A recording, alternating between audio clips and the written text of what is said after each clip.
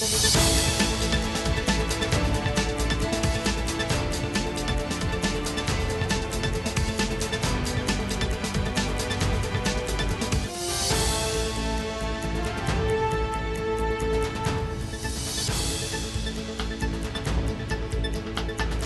Сблъсъци, пострадали и арестувани в 56-та вечер на протести в столицата. Палатковите лагери на Орлов мост и при ректората на Софийския университет са премахнати. Това са новините в 8 сутринта. Добро утро! В този час трябва да започне брифинг на СДВР. Ние ще го следим, така че след малко очаквайте включване на живо. Протест Протестите продължават и днес. Каква е обстановката в момента пред новата сграда на Народното събрание? Сега ще ни каже Александър Марков. Добро утро! Здравейте! На площад Независимост в момента пред сградата на Народното събрание екипите по чистотата все още се справят с последиците от вчерашния протестен ден, който продължи от 8 часа до малко след 2 часа сутринта. Екипи на чистотата почистваха, прехвърляха се сега към площад Александър Батенберг. За разлика от вчера, това, което се забелязва е, че има отново плътен полицейски кордон и паркирани автомобили на жандармерите и полицията от към страничния вход на парламента и паркинга, където се паркират служебните автомобили на депутатите. Но броя на полицаите е доста по-малък от вчера. Носят жилетки антиконфликт и не се забелязват сили за борба с безрейците. като заговорихме за последиците, можете да видите и павета, които с нощи са влезли в употреба, изкъртани е, жълти павета, нещо, което направи впечатление вчера. Можете да видите и фасадата на партийния дом, по която, бившия партийния дом, простете, на която все още има яйца и какво ли не още. В 9 часа днес е обявен нов протест, т.е. малко след около час. Как протече вчерашния протестен ден? Какво се случи през вечерта? Вижте в следващия репортаж на колегите.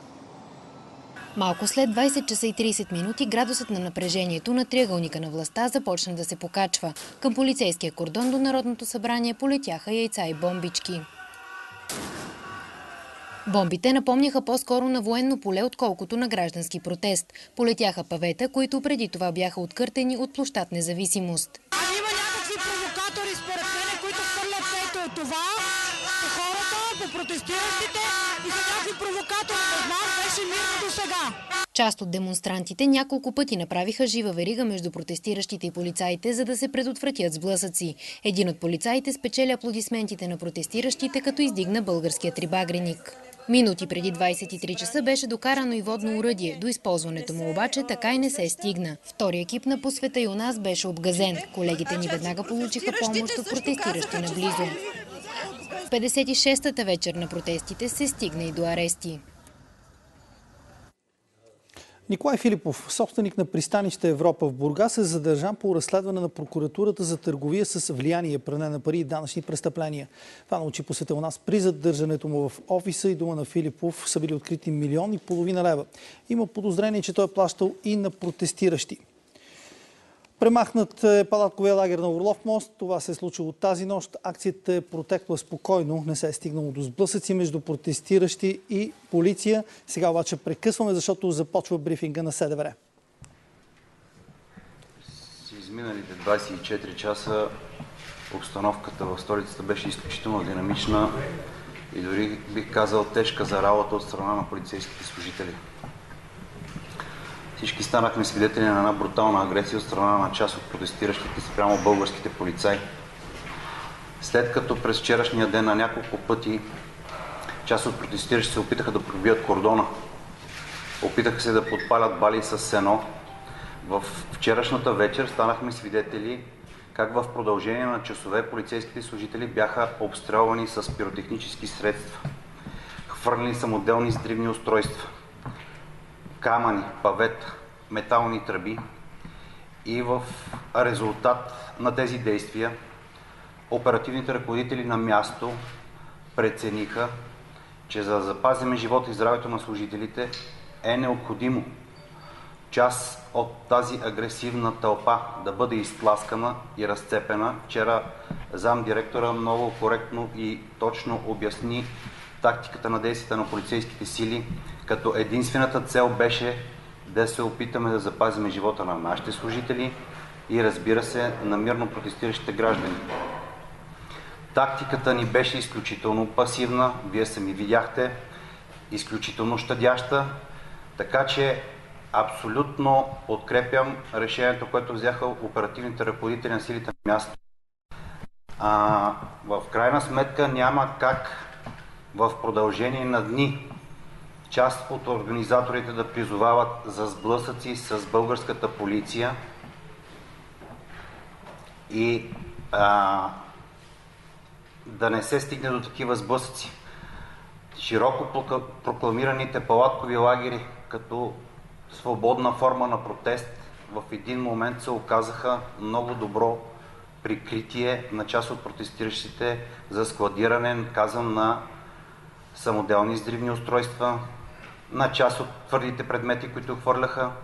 На един от филтровъчните пунктове тази сутрин колегите намериха коктейл Молотов, който най-вероятно е бил подготвен за използване срещу българската полиция. Цената на постигнатия граждански мир вчера е 80 ранени полицаи с различни травматични увреждания и наранявания. Един колега е с фрактура на дясна ръка, изгаряния по лицата, различни контузни, раз, разкъсно контузни рани. Повечето от тях са прегледани в болничните заведения. Част от обгазените, на част от обгазените колеги има оказана медицинска помощ на място и те се върнаха обратно в редиците, за да изпълняват своя служебен дълг. Призива ни отново е към абсолютно цялото общество и към всички граждани, които имат абсолютното право да протестират, да бъдат изключително внимателни и да не се поддават на, бих казал, на криминални лица и е, да спазват законно установения ред. В крайна сметка, след като от нашите видеонаблюдения установихме, че част от тези самоделни издрivни устройства се вадат от палатковите лагери, взехме решение и в 3 часа стартирахме специализирана полицейска операция по възстановяване на обществения ред и премахване на блокадите както на Софийския университет, така и на Орлов мост. В момента движението е възстановено и се надявам така да остане.